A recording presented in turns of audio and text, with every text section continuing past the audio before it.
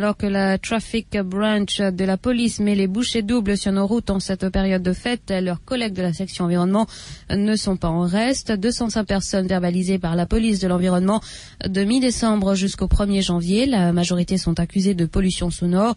On retrouve parmi ces contrevenants plusieurs boîtes de nuit très connues du nord et de la côte ouest. Elles ont outrepassé la limite de décibels autorisés. La police de l'environnement assure qu'elle sera intransigeante en ce début d'année.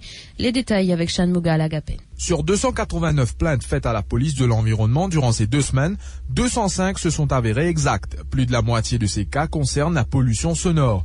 Plusieurs règlements régissent ce type de pollution.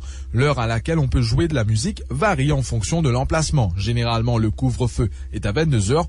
Toutefois, il y a les quelques centaines qui font fi de la loi. La police nous signale que durant cette courte période, une bonne majorité des verbalisés étaient dans un bungalow près de la plage. Il y a aussi les high profile contraventions qui concernent les boîtes de nuit. Si elles sont autorisées à jouer de la musique jusqu'à fort tard le soir, elles ne doivent toutefois pas dépasser un niveau de décibels acceptable. Mais ici aussi plusieurs le font, ainsi, une boîte très prisée de Grand Bay et une Afrique en flaque se sont fait épingler.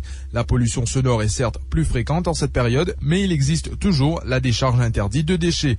Cependant, l'équipe du chef inspecteur Dial, composée de 28 officiers, veille au grain. Les amendes varient de 2000 roupies jusqu'à 25 000 roupies.